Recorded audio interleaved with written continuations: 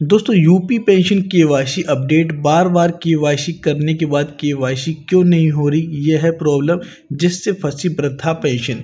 कई सारे लोग कमेंट करके पूछ रहे हैं कि, सर, केवाईसी नहीं हो रही, एक बार फॉर्म में केवाईसी कर देते हैं, लेकिन फिर से लॉगिन करते हैं तो फिर से केवाईसी मांगने लगता है। ऐसे कई सारे लोगों के स्क्रीनशॉट आ रहे हैं, प्रॉब्लम यहाँ पर आ रही है।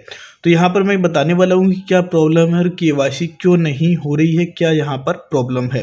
अगर आपने अभी तक इस चैनल को सब्सक्राइब नहीं किया है तो रेड करके सब्सक्राइब बटन पे क्लिक करके चैनल को सब्सक्राइब कर दीजिए, साथ ही साथ बेल आइकन को भी प्रेस कर दीजिए ऐसे ही वीडियो की जानकारी पाने के लिए।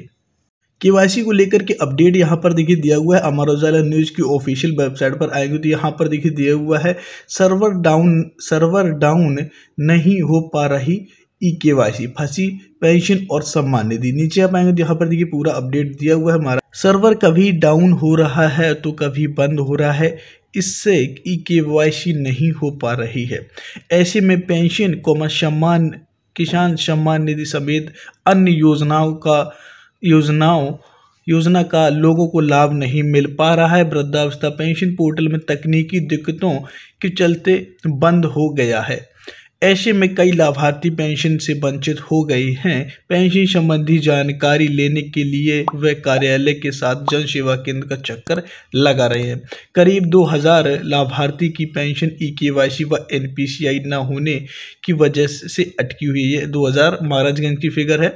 आप यहाँ पर आएँगे तो पूरा अपडेट देख दिया हुआ है। समाज कल्याण विभाग की ओर से ज़िले के एक लाख आठ सौ पैंतीस, आठ सौ पैंतीस लाभार्थियों को पेंशन से लाभान्वित किया जा रहा है। शासन की ओर से इन लाभार्थियों को आधार प्रमाणीकरण के माध्यम से पेंशन देने के लिए ई के कराई गई थी, जिससे आधार से लिंक खातों में सीधे धनराशि हस्तांतरित हो सके।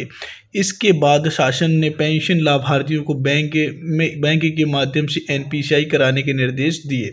National Payment Corporation of India NPCI के दौरान के दौरान बायोमेट्रिक से खाते का सत्यापन व अन्य प्रक्रिया को पूरा कराया गया, जिस आधार कार्ड में मोबाइल नंबर लिंक नहीं थे, उन्हें, उनमें मोबाइल नंबर अपडेट कराने के निर्देश जारी किए गए हैं। इस प्रक्रिया के चलते वर्तमान में करीब 2000 लाभार्थियों की पेंशन अटकी है।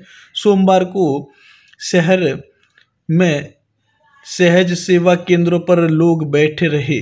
साइड नहीं चलने के कारण केंद्र संचालक परेशान रहे। तमाम लोग दो तमाम लोग तो दोपहर बाद घर गए। यानी कि यहाँ पर ये बताया गया है कि अगर आपकी पेंशन की केवासी नहीं हो पा रही है, ये सर्वर की प्रॉब्लम है।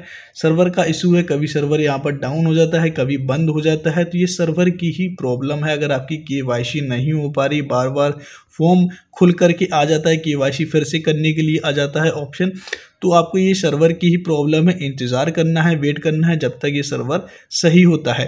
तो आपको इंतज़ार करना है, जैसे ही सर्वर सही हो जाएगा, के होना शुरू हो जाएगा, यानी कि के का जो ऑप्शन है, वह यहाँ पर स्टेप थ्री सही हो जाएगा। यानी कि दोबारा से बार बार के नहीं मांगेगा तो आपको इसी चैनल पर अपडेट मिल जाएगा या आप कुछ दिनों बाद ट्राई करते रहें, ठीक है? ऐसा ट्राई करते रहें, के करते रहें, ठीक है? ट्राई करते रहें, अगर आपका सक्सेसफुल हो जाए और तीसरा जो स्टेप है, वह चेक हो जाए तो आपका के हो जाएगा फॉर्म कंप्लीट हो जाएगा, ठीक है? तो दोस्तों, आशा करते हैं आपको यह जानकारी पसंद आई होगी। अगर ये जानकारी आपको पसंद आई है तो वीडियो को लाइक कीजिए और ज़्यादा से ज़्यादा दोस्तों शेयर कीजिए। Thank you rose.